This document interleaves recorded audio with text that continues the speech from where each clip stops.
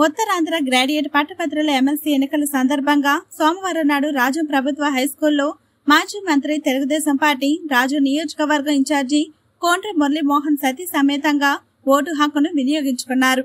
అనంతరం మీడియాతో కోండ్రు మాట్లాడుతూ ప్రస్తుత పాలన విధానంలో మార్పు తీసుకురావాల్సిన సమయం వచ్చిందని ప్రభుత్వం అవలంబిస్తున్న నిరంకుశ చర్యలకు గుణపాఠం చెప్పడానికి ప్రభుత్వ ఉద్యోగులకు పట్టభద్రులకు మంచి అవకాశం ఈ ఎన్నికలు అన్నారు.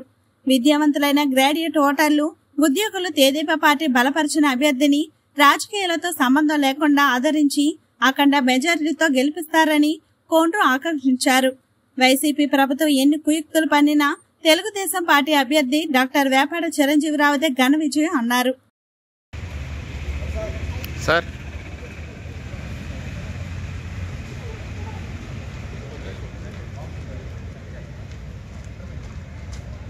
ఉండాలని కాదు కోకుల్లాలు ఉన్నాయి ఈరోజు ఈ ప్రభుత్వం ఫెయిల్యూర్స్ని చెప్పుకుపోతే ఒక ఇరవై నాలుగు గంటలు చెప్పుకోవచ్చు. ఈరోజు విద్యా వ్యవస్థని టోటల్ నాశనం చేయడం జరిగింది. అలాగే మెడికల్ అండ్ హెల్త్ టోటల్ వ్యవస్థ అంతా నాశనం జరిగింది. ఈరోజు ఆరోగ్యశ్రీ మంచి హాస్పిటల్స్లో ఎవరికి కూడా పేదవాడు ఈరోజు ఆరోగ్యశ్రీ ద్వారా ఆపరేషన్ చేసుకునే పరిస్థితి లేదు. ఎందుకంటే హాస్పిటల్కి ఇన్ టైంలో డబ్బులు ఇచ్చే పరిస్థితి ప్రభుత్వం కల్పించడం లేదు. అన్ని విధాల ఈ ప్రభుత్వం ఫెయిల్ అయింది. పట్టభద్రుల ఎమ్మెల్సీ ఎలక్షన్ ఈరోజు జరుగుతుంది. తెలుగుదేశం పార్టీ తరఫున వేపాటి చిరంజీవి గారు మరి అభ్యర్థికి తెలివైన వాళ్ళు వివేకవంతులు గ్రాడ్యుయేట్స్ ఉద్యోగులు నిరుద్యోగులు అందరూ కూడా మొదటి ప్రాధాన్యత ఓటు వేసి ఆయన గెలిపించడానికి అందరూ కూడా కంకణం కట్టుకొని మరి ముందుకెళ్ళి ఓటు వేయడం జరుగుతుంది. చాలా సంతోషంగా ఉంది. ప్రతి మండలంలో కూడా మంచి మెజారిటీ వేపర్ చంద్రులు రావడం జరుగుతుంది. ముఖ్యంగా వివేకవంతులు గ్రాడ్యుయేట్స్ మరి ఉద్యోగస్తులు నిరుద్యోగులు అందరూ కూడా ఒకటే మాట ఈ ప్రభుత్వం అన్ని విధాల వైఫల్యం చెందింది.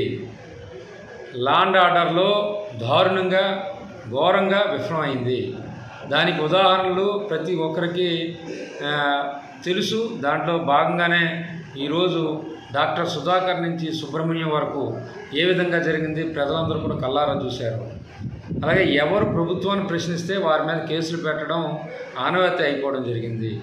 ఈ రాష్ట్ర ప్రభుత్వం ఎప్పుడూ లేని విధంగా ఎస్సీ ఎస్టీ మరి ప్రజల మీద ఎస్సీ ఎస్టీ అట్రాసిటీ కేసులు పెట్టడం మరి ఒక విచిత్రమైన లేకపోతే గందరగోళమైన ఇది ఒక లా అండ్ ఆర్డర్ వైఫల్యం చెందుతుంది అని చెప్పడానికి ఇది ఒక మంచి ఉదాహరణ. ఈ విధంగా అన్ని విధాల ఈరోజు నిరుద్యోగ సమస్య దేశంలో అందరికన్నా ఎక్కువ ఉంది. ఎందుకంటే ఈ రాష్ట్ర ప్రభుత్వాన్ని చూసి ఈ రాష్ట్ర ముఖ్యమంత్రిని చూసి మరి ఇండస్ట్రీస్లో ఎవడు ఇక్కడ రావడం లేదు పెట్టుబడి పెట్టడం లేదు.